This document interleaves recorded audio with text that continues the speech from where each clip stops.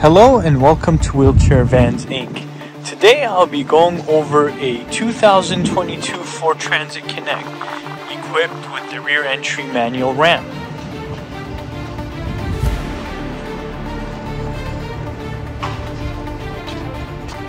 So this conversion was done by Driverge.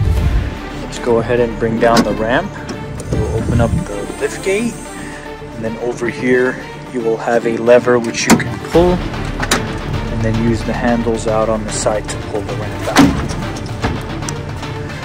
Now this ramp here is going to be 30 inches wide. Entrance height from the floor to the top of the door is going to be 57 inches.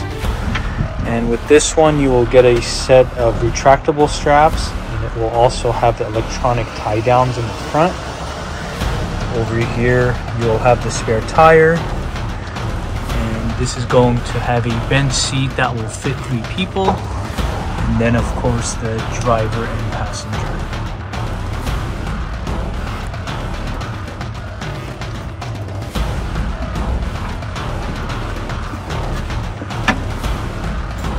Let's go ahead and bring up the ramp.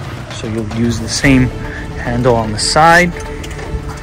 Push it up Make sure it's locked in place and then close the lift gate.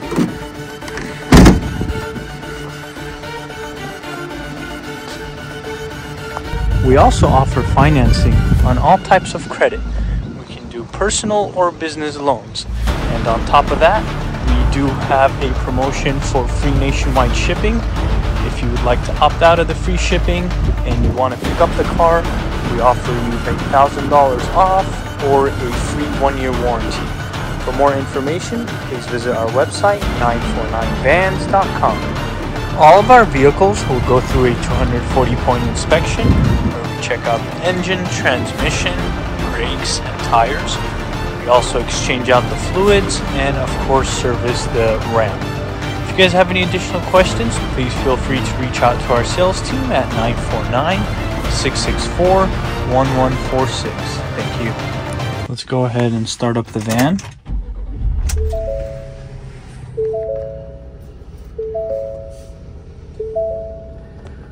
So this one is going to have 3,800 miles.